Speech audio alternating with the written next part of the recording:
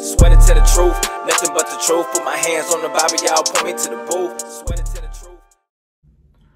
So over 50 libraries denied Kirk's storybook to kids during story time hours. Watch this. So they wouldn't let you read this book? This book was banned in libraries? How controversial is this book? Well, it, it's a book that teaches biblical wisdom through the seasons of life to children and the value of growing the fruit of the Spirit, like love, joy, kindness, patience, gentleness, self control. And I wanted to do a book reading at a public library, and I was denied by over 50 woke libraries that have hosted drag queen story hours.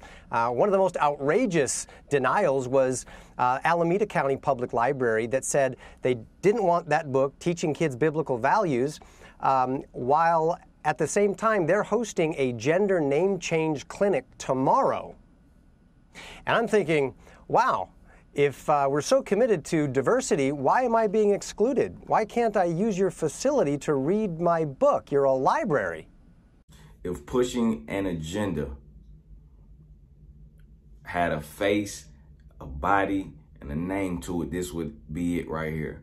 Because you allow transgenders to come there and read their books and flaunt their stuff and do what they want to do and not let a another man or woman, for that case and matter, come and read a book about biblical principles and preserving moral integrity. This is the type of world we're living in now, to where everything is backward. good is called evil and evil is called good. There's absolutely nothing wrong with him or her, with him or a woman coming to read a book that was written for kids about biblical principles. At the end of the day, when we look into the Bible, even skeptics and atheists, many would many would agree that Jesus Christ was a good man. And if we cared anything about the future, the generations to come, if we cared anything about them, then we would want to instill within them uh, principles and godly values that will that will help to preserve them in the in the coming years.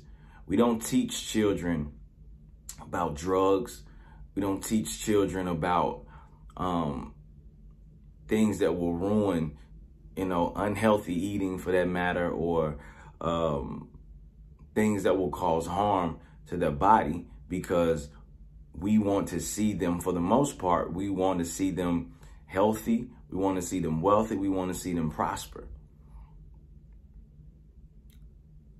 But they would rather teach diabolical doctrine and cause confusion to happen to these children all in the name of pushing an agenda. And we have to understand that what these what these people are looking to do is tear down is to tear down the foundation and framework and a, a, a fabric that was built into was built into this society based on based on family based on education, based on godly morals and values. These people would love to tear down that structure and build up something totally anti-God and anti-biblical and all in the name of liberation. So we as parents, we as people who stand on the word of God, and even if you don't stand on the word of God, but if you just know that, if you know that morals and principles and truth is the way, is the way to go, speak out on that.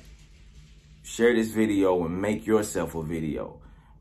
And let people know that we're taking the family back. We're taking the education systems back. We're taking our children back. Government. You will not be the parents over our children. You will not, you will not um, tell our children what they can and cannot be if it's if it's not if it's not what we teach our children. You do not have that right. You do not have that say so. We as a family are an institution given by God. And the first, I might add, the first institution given by God. this word, it wasn't the government. The family is the government. And if we just downplay that and allow these schools and allow these teachers, these counselors to be the parents over our children, our children, and do whatever it is that they want to do or how they see fit, then we're going to be kicked out. We're going to be kicked out. And they're going to be looked looked at, the state will be looked at as the guardians.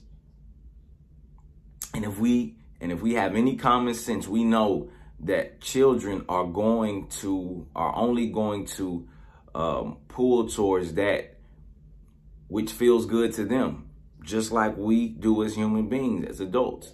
We're going to naturally pull to what feels good to us at the time. So for a child to call himself a dog or a child to call himself a girl and the opposite and vice versa, if that what feels if that what feels good to them and you have a and you have an authority figure um, that's promoting that, you know, advocating for it, then of course, then of course that child is going to lean or sway more to that because for one, their minds are still being developed and they don't know any better.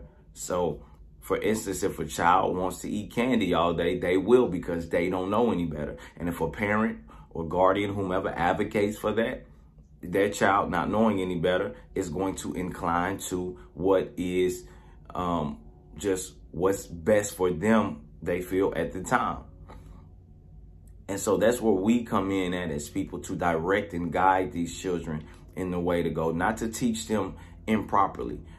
There is a right and a wrong way. And the Bible speaks about that. It talks, it says that there is a there is a path that seems right to a man, but leads to destruction.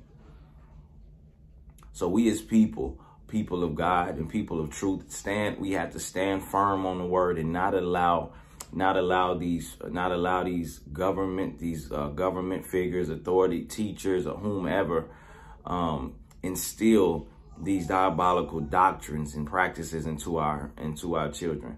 So we stand firm on the word of god and we take back what god the authority and power that god has given us. God bless. I love you all Swear to tell the truth, nothing but the truth. Put my hands on the Bible, y'all point me to the booth. Swear to tell the truth.